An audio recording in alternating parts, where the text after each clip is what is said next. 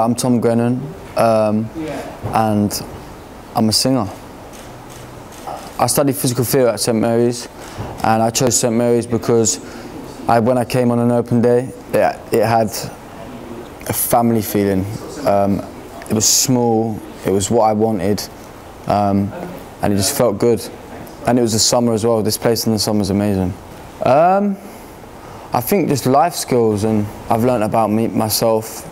Um, coming to uni, it taught me how to like mix with with all sorts of different people and and and like not judge anyone. Just, it was just a nice thing to be around. It was just everyone's here for the same reason and it was just it was just wicked. I'd say energetic. Um, I'd say energetic, pure, and energetic, pure, and amazing. My favourite memory at St Mary's was probably just coming here. My first year here was just a just a bit of a crazy time. I lived on campus, so it was it was it was just it was buzzing. Everywhere was buzzing every day, so it was good. My proudest moment to date is probably gonna have to be the album out, um, and for it coming in at number five in the charts, which will never get boring to say. Um, but no, that was a very proud moment of mine. And graduating actually was pretty proud.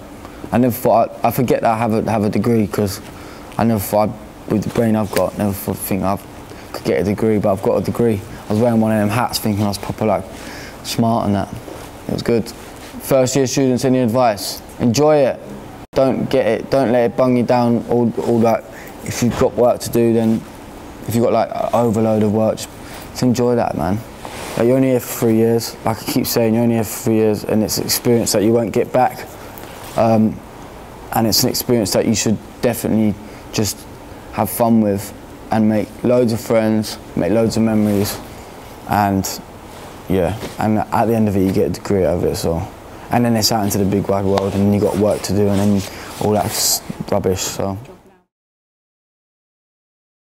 coming on tour in September and October, um, London, Brixton. So any St Mary's students that want a night out, come to Brixton. Um, yeah, enjoy it. Tell your mums, tell your dads, tell your grandparents, tell everyone about lighting matches. I always say that because it's true. I want to be in your living room. So yeah, make sure.